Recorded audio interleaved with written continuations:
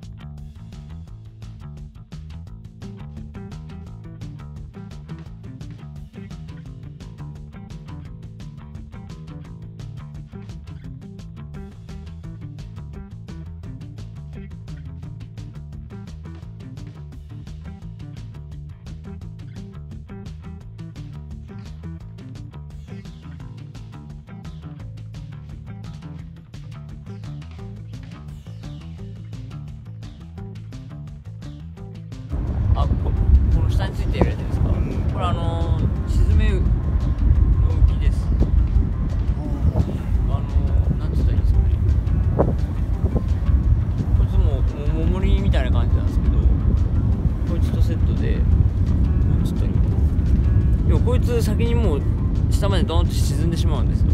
でその後このハリスがゆっくりこう落ちていくような形。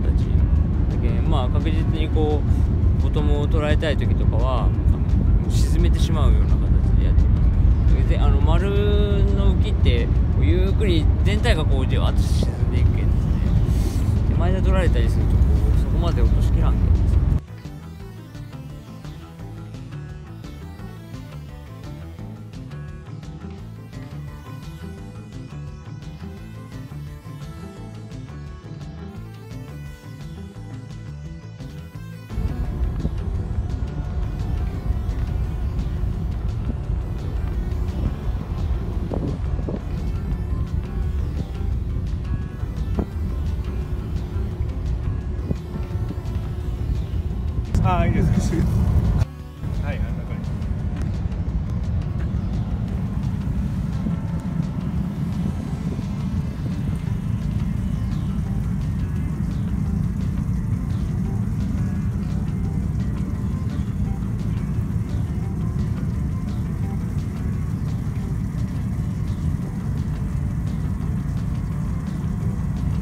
今朝来たんで今日は10時半が満潮なんで、それくらいまで。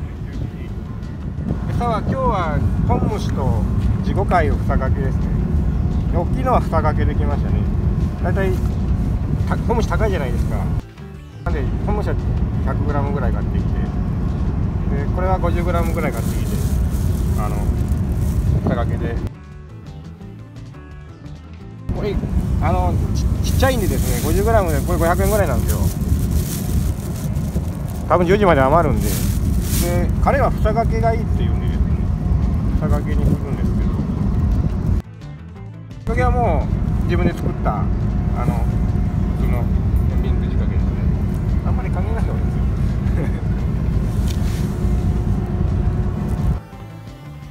ああできますできます。あの高いじゃないですか毎回買ったら。で針と結んで。こういうビーズが売ってるんですよこれココブ作って結ぶだけなんですけど8の字で。普通のコブだったら切れるんで。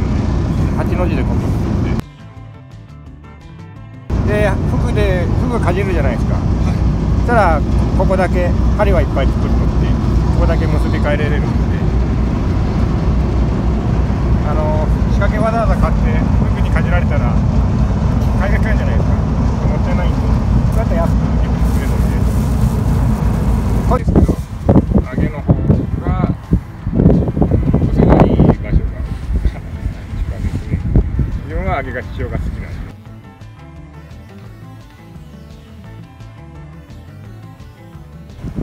大体置いた皮が大きい皮が多いんですね。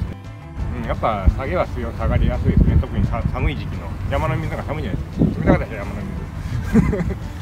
なんか下ってくるんで。まあ彼は水温低いのがいいって言いますけど寒い時期の方がいいでしょうけど。でも干潮間際とかも釣れますからね。潮止まり前後はやっぱ